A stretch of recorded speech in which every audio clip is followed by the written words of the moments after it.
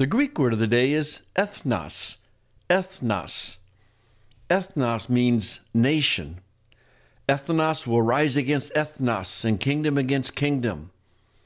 In the plural, ethnos often means Gentiles. A partial hardening has happened to Israel until the full number of the ethnos has come in. Ethnos means nation, Gentiles.